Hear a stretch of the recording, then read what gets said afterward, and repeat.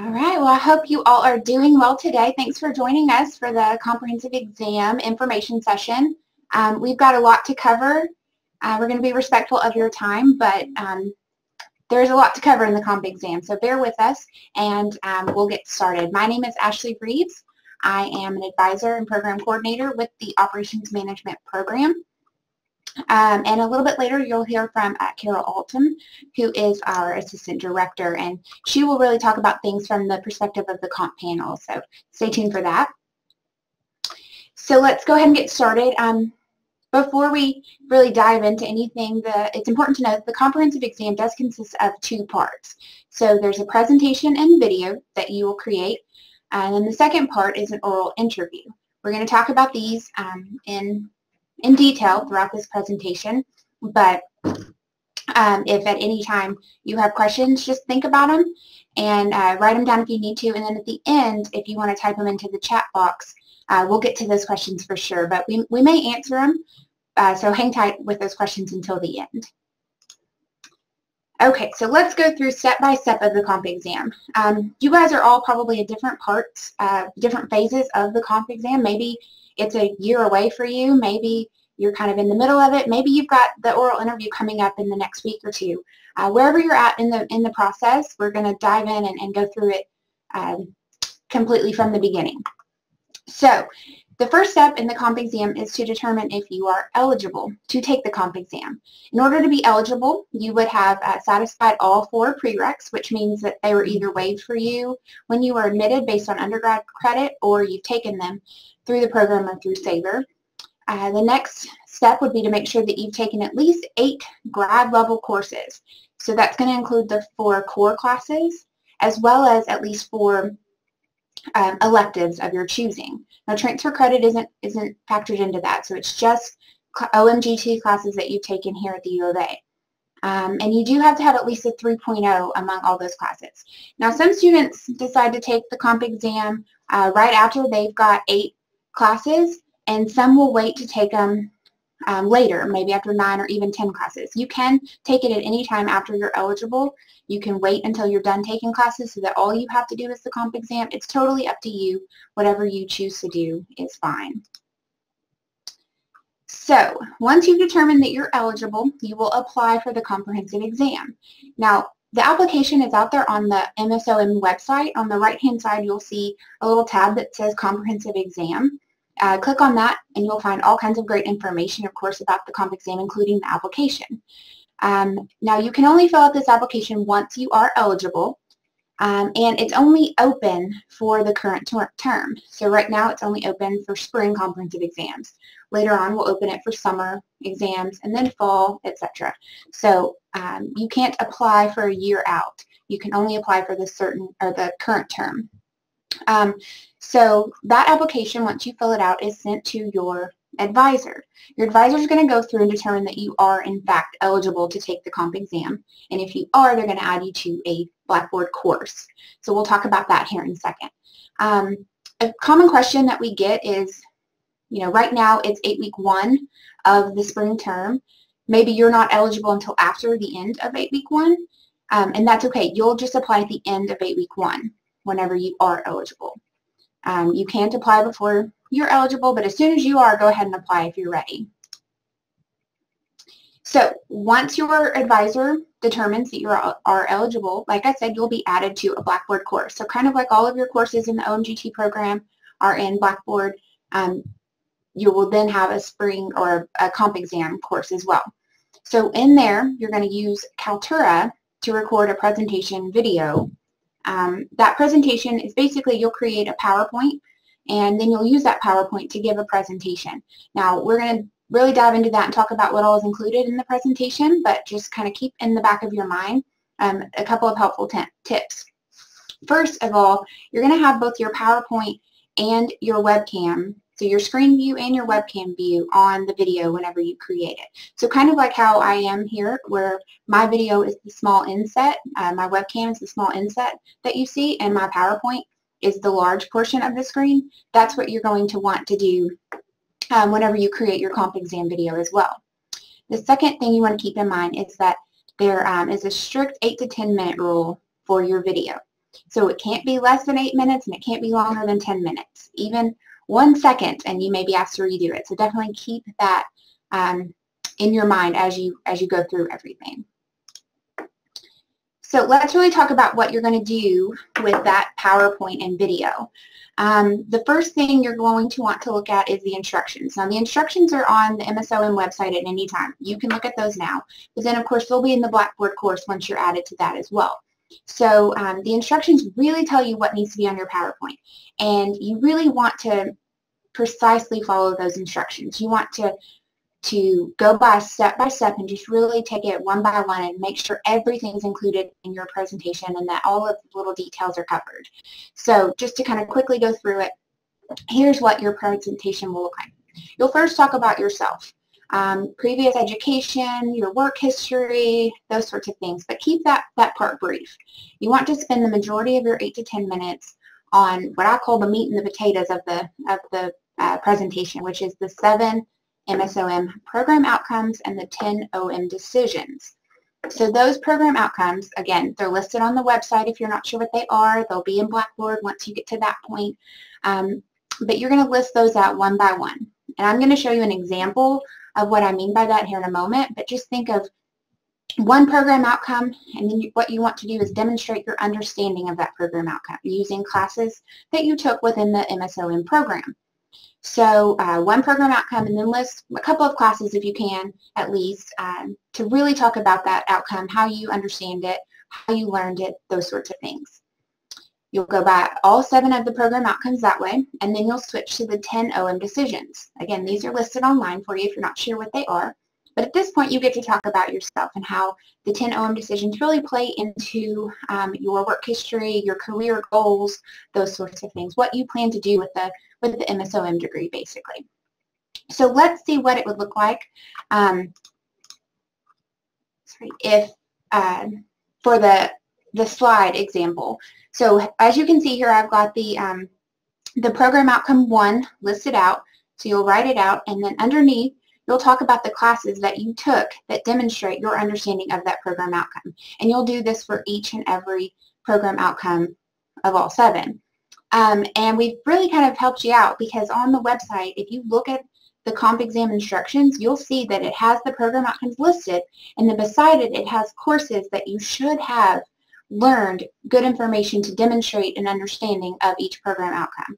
So you really can just look through that list and decide which classes you took uh, and then just talk about how those classes, maybe it's case studies, projects you worked on, different things, helps you gain an understanding of that program outcome. So that is an example of what you'll do there. Once you've got that PowerPoint created, you, you do your video, you make sure it's between 8 and 10 minutes, and you make sure that your webcam is a small inset and your PowerPoint is um, the larger portion of your screen, you'll upload it in Blackboard. Um, and at that point, the comp panel will go through and watch your video and make sure that it just makes meets all of the criteria in the instructions. So they want to, they're going to look for if you talked about everything that needed to be talked about, if you were within the 8 to 10 minutes, if you showed both your webcam and your screen view, all of those little things, they're going to go through and make sure that you um, completed within your video. Now this process can take up to a week, so just hang tight after you upload it um, and once it has been reviewed, you will be contacted. Um, if anything is uh, maybe not up to par with your presentation, you'll be asked to redo it. There's not a huge penalty for that. Um, it just is kind of a delay and everything, so um, you, you don't want to do that, but it's okay if you do. Now, if everything is good to go, if you're perfect, um, you will be asked to schedule the second portion of the comp exam, which is the oral interview. The interview, um, you're going to be giving given um, a couple of dates and times that you get to choose between and you can either choose to come to Fayetteville, Arkansas and do your comp exam live in person or do it on a video conferencing system called GoToMeeting, which is sort of like Skype. Either way, it's a live interview, live interaction with the comp panel. Um, so there will be three, there will be three people on the comp panel made up of MSOM faculty. And um, an important thing to remember is that all of the interview times are given on a first come, first served basis. What I mean by that is every step up until this point has to be completed before you're able to schedule it. So if you're thinking right now you've got a date in mind that you want to do your comp exam this spring, you have to have uploaded the video and had it accepted before you can schedule that. So all of those dates and times are also first come, first served. If everybody else that got in their video before you picked that date or that time that you wanted before you got to it, then that time would already be taken. Now, spring dates can fill up. So if you're wanting to take it this spring, if you're hoping to graduate or whatever, um, it's important that you get, get the ball rolling as early as you can. I understand some of you might not be eligible until after 8 week 1, and that's okay. Um, just apply and get the ball rolling as soon as you can if you're hoping to get things done this term. So I mentioned deadlines. Here's kind of a look at um, the exam dates that we have coming up this spring and then when their deadline is. So you can see in one column all of the, the exam dates, including tomorrow, and then when the deadline is. So when you would have needed to upload your PowerPoint and your video um, into Blackboard in order to be considered for that date. Now again, even if you upload, let's say you wanted the April 10 date, even if you upload on March 27th at 4.59 p.m., you met that deadline. You're not guaranteed a spot. If the dates are full before it's your turn to choose, then that's just kind of how the cookie crumbles. So definitely be proactive with this. Get things done as early as you can in order to not um, stress yourself out in that situation. Summer dates will be released uh, later on in this term and then of course fall later on into the summer. So be looking for those. Your advisor should send them out to you uh, as soon as they're available. Okay, so once you've scheduled your um, oral interview part, you will just hang tight until that date um, like I said, the comp panel made up of three MSOM faculty members. They're going to ask you questions um, as they pertain to your presentation, the program outcomes, the OM decisions, basically anything that uh, you may have either covered on your presentation or even that you didn't. Um, it's important to brush up on course objectives and certain things like that so that you're prepared to kind of answer any question about the courses that you took in the program. Um, you will know your grade for the comp exam by the end of it. So by the end of, of that 30-minute oral interview, you will know if you passed or failed, and then you can plan accordingly from there. So at this point, I'm going to turn it over to Carol Altum, who, like I said, is our assistant director. She's also um, on the comp panel. So she's going to talk about things from the um, from the view of the comp panel and some study tips and how things work from there. So I think she is on, and I'm going to let her take it over from here. Hi, everyone. Uh, just as Ashley said, I'm Carol Altum, the Assistant Director of the program. I've been with the program for over five years, so I've seen hundreds and hundreds of comp exams. I'm here to give you some tips and um, a viewpoint from the comp panel member.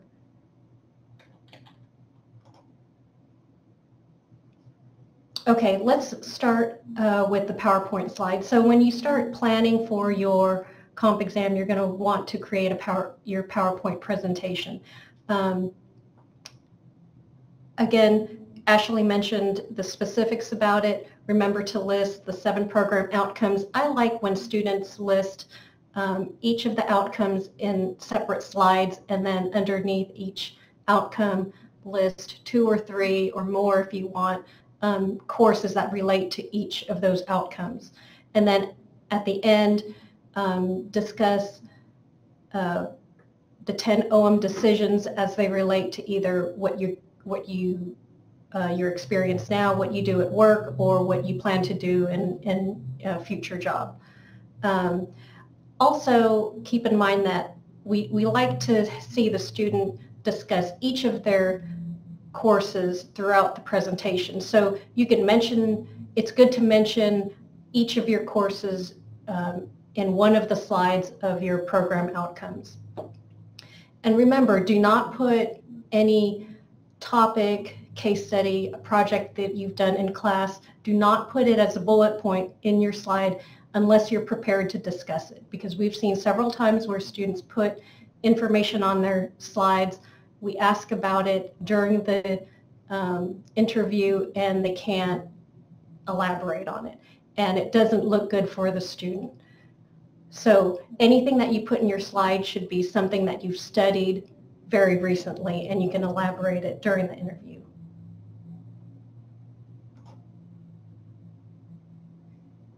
Okay, so for your video presentation, I like when a, a student can be heard and is loud and clear. I like using a headset or, you know, some students wear earbuds. It's quite all right.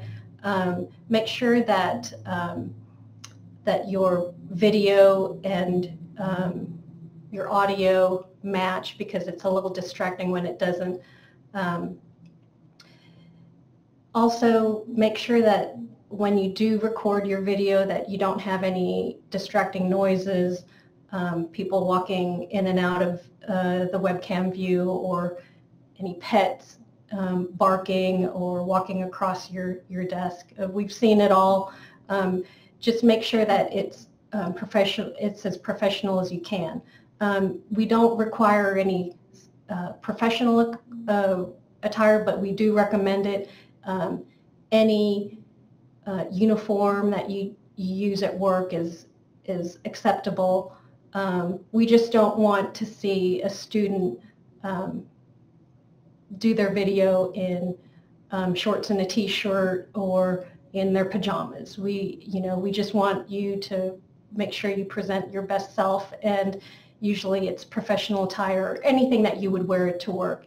Um, we have a lot of military members who are students and they'll wear the uniform of the day and that's perfectly acceptable. And again, um, we stress that the video must be between 8 and 10 minutes.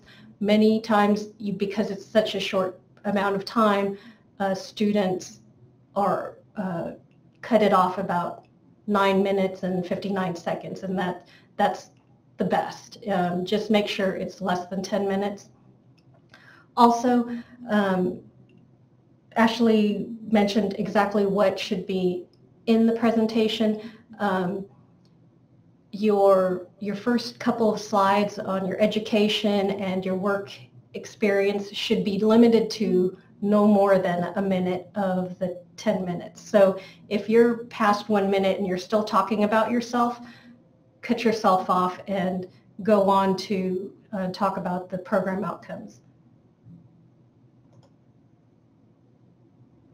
Okay, during the oral interview, again, it, it lasts only 30 minutes, so there's only a limited amount of questions that the three panel members can ask. Um, we're going to focus on the four uh, required courses, that's intro, project, uh, econ decision making, or finance, or strategic management. And then we will also get um, also get to your elective classes. Um, but we do focus on those four required classes. Again, there's three panel members. We will have about 10 minutes each. Um, and most of the time we are asking questions um, on the asking questions on the classes that we've taught.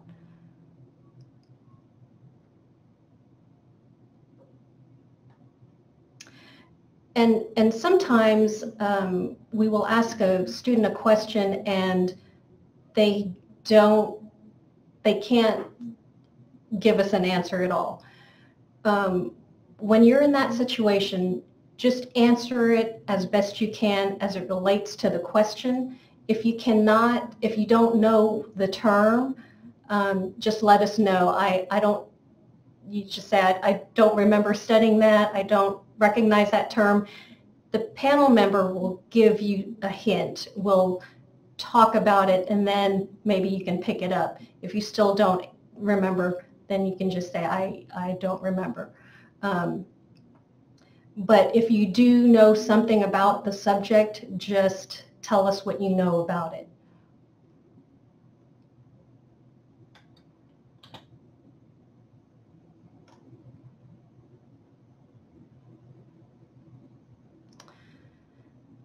Again, we're going to focus on the required courses, but we'll touch on all of the courses that you've taken, including your electives. When you study, um, look over your syllabus and your course objectives for each of the classes. And I'm just going to go over a couple of the course objectives for finance just as an example. Um, and again, make sure that if it's in your presentation or if you mention it in your video, um, you can elaborate it, elaborate on it during the interview. Um, as an example, I had a former student in my finance class um, do the comps, and I was on um, on his comp exam, reviewed the video, saw that he mentioned the Dutch auction for it was under finance class. And I thought, well, I'm going to make him look good and I'm going to ask him about the Dutch auction because I don't know if any other student ever in the history of comp exams has ever mentioned the Dutch auction. But we did study that in class. So I was going to make him look good and so he could tell the other exam uh, panel members what the Dutch auction is, um, what we studied on it. I mentioned it during the interview and he could not tell me what he couldn't even define it. So he couldn't even explain what it was, give me a definition or what we did in class. So it ended up being really bad for him. So I'm not sure why he put it on his presentation. You do not want that to happen to you.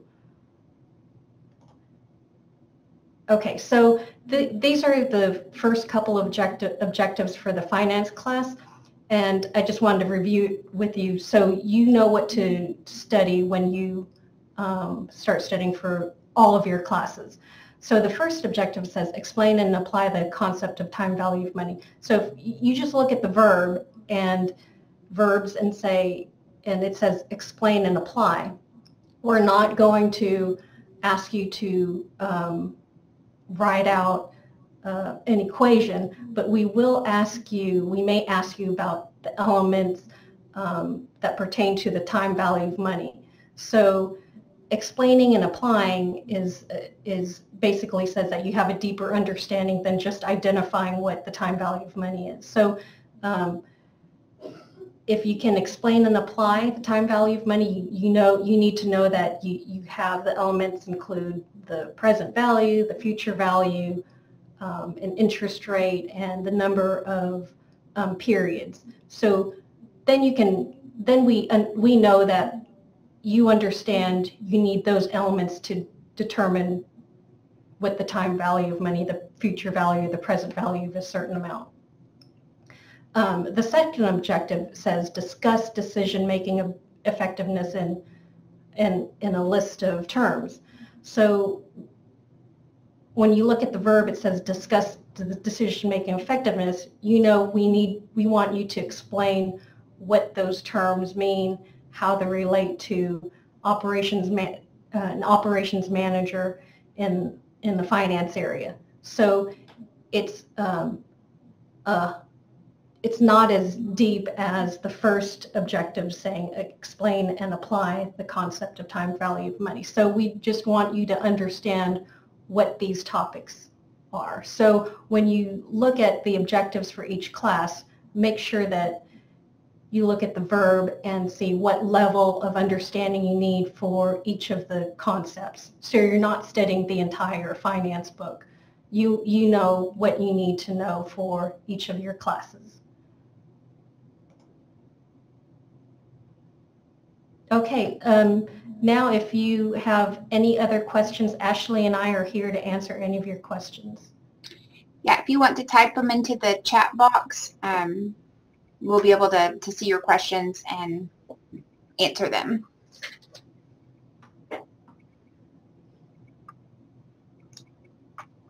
Just wait a few minutes while the questions come in.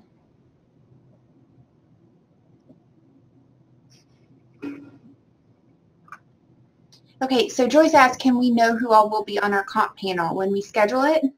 The know your audience concept. Carol, do you want to take that one? She may have signed off. Uh, uh, yes. Okay. Um, right. We. Um, yes, you will know who your comp panel is. Um, but Ashley, you may know. You may have the better answer.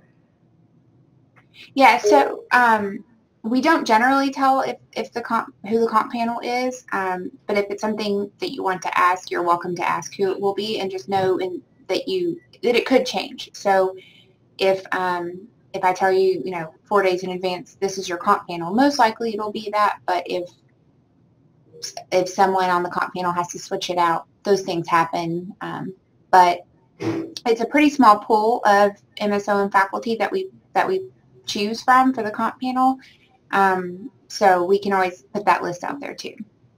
And I'll just let you know that it's either me, Dr. Rich Ham, Dr. Greg Parnell, who's our director, um, Professor Emily Nichols, so that's four, and then we have two full-time instructors, um, Dr. Carrie Beam and Professor Leonard Nethercutt. So there's six of us that will um, may be on the panel. So three of the six of us will be on the panel. Right. Okay, so Sarah asked, since the presentation is a brief understanding, are note cards allowed for the oral? Good question, Sarah. Um, no, we don't allow any note cards or notes um, for the oral interview. Um, it's strictly re relying on your uh, your memory and understanding of certain topics. And and also you won't have time to look at your note cards. It's um, again, it's only 30 minutes, so we're just going to, you know, once we ask a question, we just um, expect the student to start talking. So you, you won't even, notes aren't and textbooks aren't allowed, but I mean, typically you, you just won't have time to, to look it up. Okay, so Demetrius asked um, if you should study at a high level or just what's included in the presentation. Um, and Carol can elaborate on this. Mostly what's included in your presentation is going to be what's covered, but it's important to to be prepared to talk about any concept from any class, especially if you might have neglected to really give enough detail in your presentation. Um, Carol, do you have anything to add to that one? Um, no, but every every class will be discussed during the comp exam. So yeah. you, you will get questions that you didn't address in your presentation. Right. Of the main concepts for each for the for that particular class. Yeah.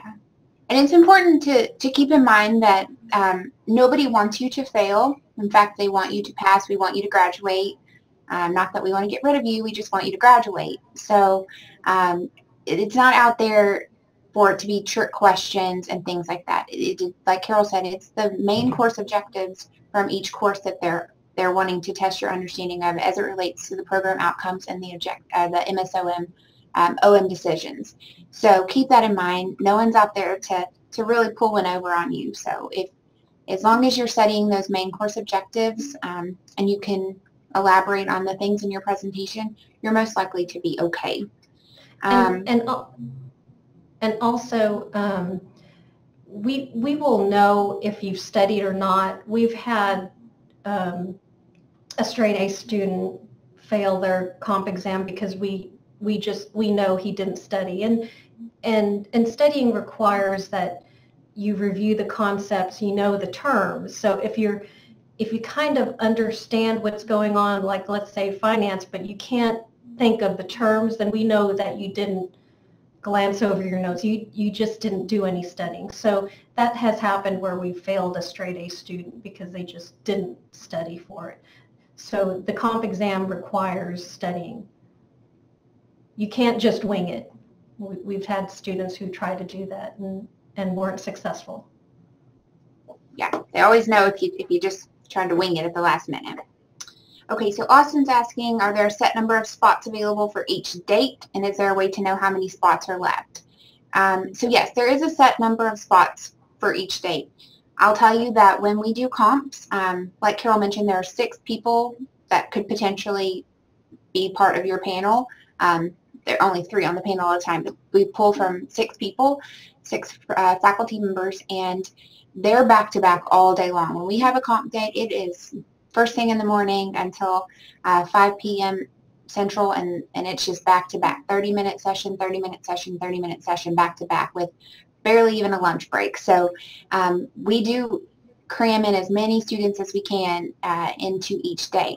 We don't post how many dates are available or the sessions are available um, currently, but if you're ever curious, if there's still spots on a date, you can email me at any time and I can always look at that for you.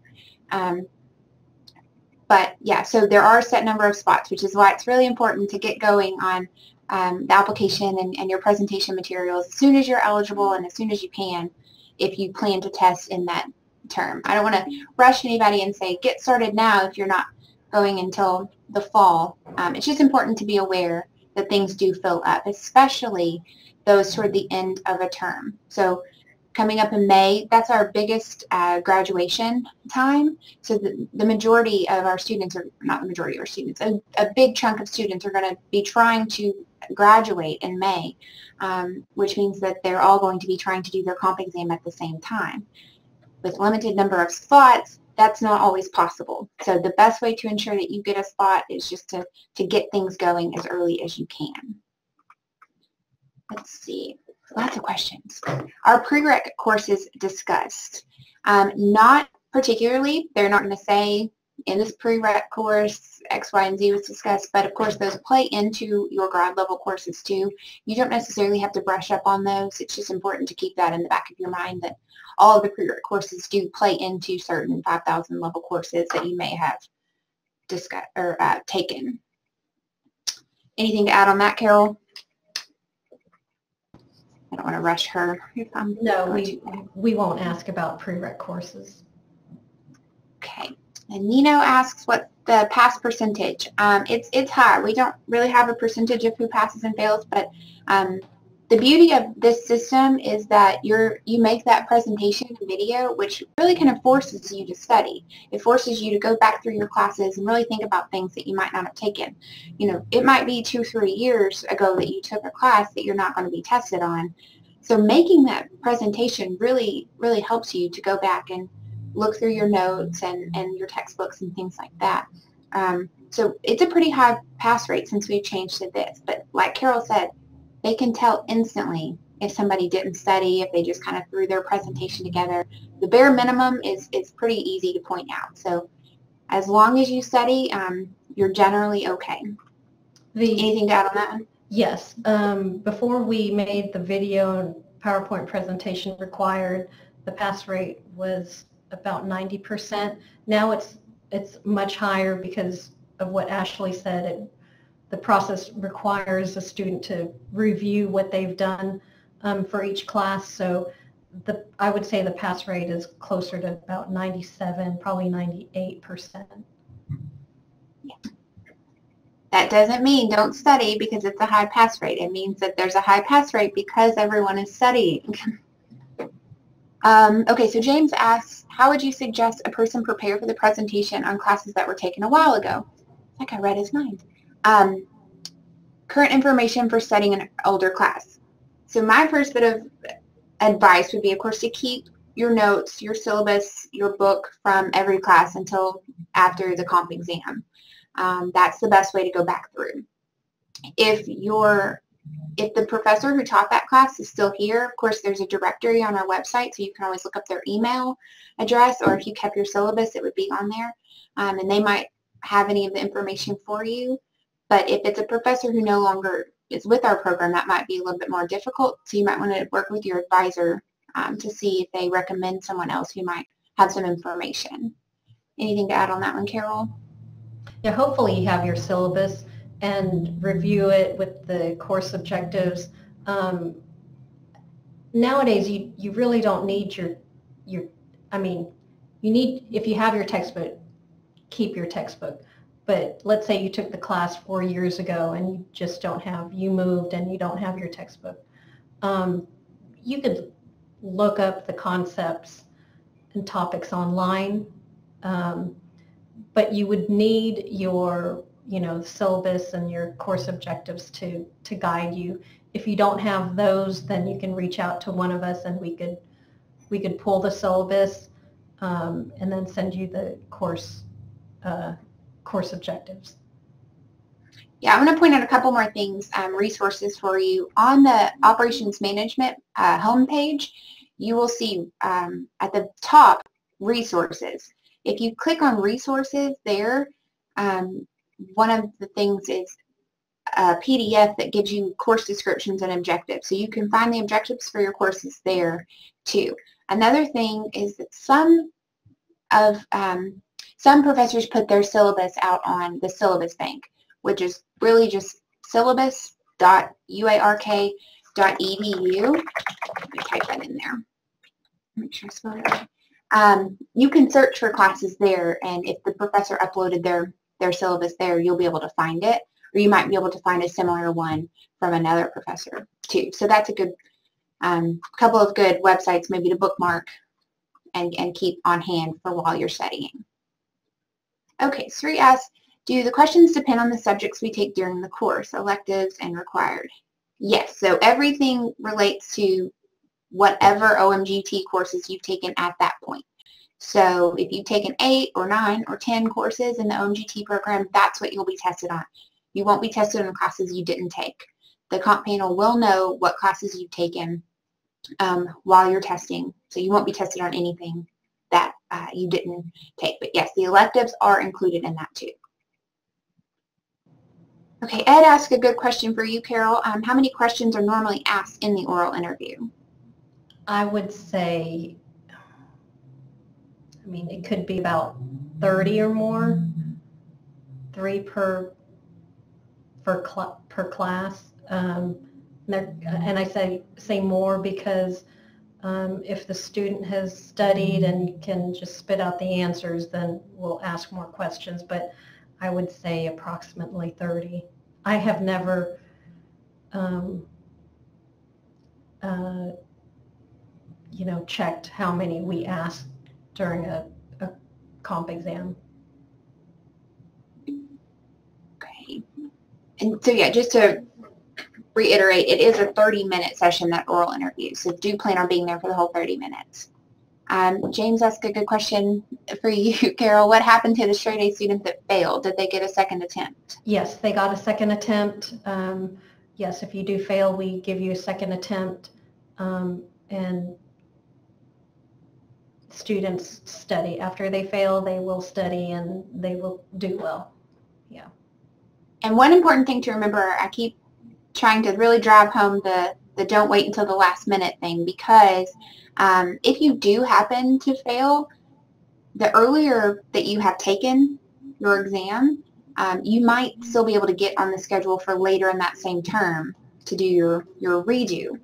Um, if you wait and you're, you're doing your exam maybe the last comp date of the spring, of course, then you would have, if you needed to redo it, you would have to wait until the summer or the fall even um, to be able to, to retake your test.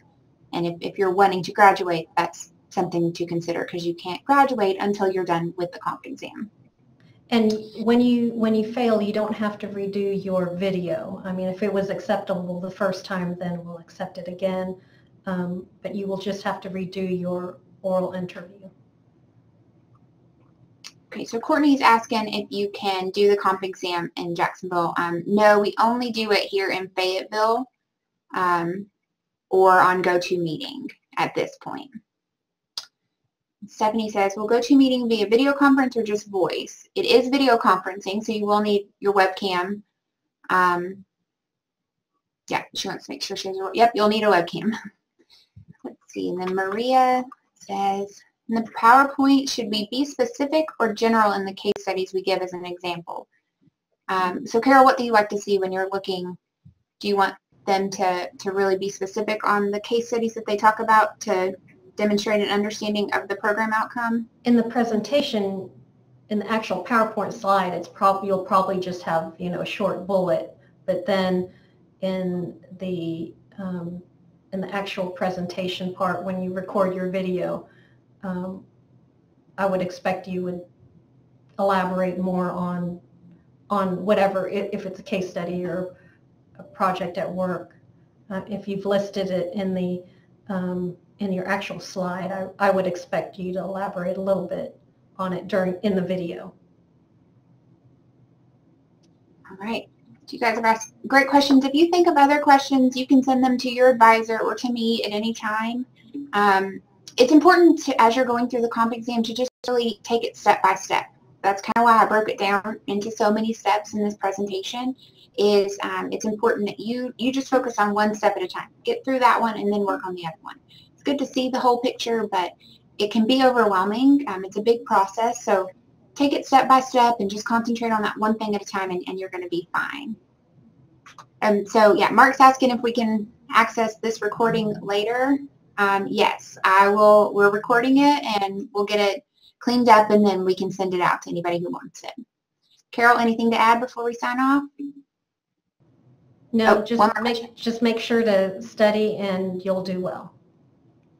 Okay, so Matt asked one more question. Um, are there previous videos of an interview we could watch? No, we don't. Um, we don't send out former students interviews um, to other students, but your advisor should be able to give you a copy of a PowerPoint example um, if you'd like to see that. So be sure to ask your power uh, your advisor if you want to see that. All right, well, we thank you for joining us today. We hope that this was helpful, but like I said, send me any questions that you may have or send them to your advisor. We're here to help you. We, we want you to do well on your comp exam, so send it to us at any time, and we want to help you. And apply early. Y'all have a good day.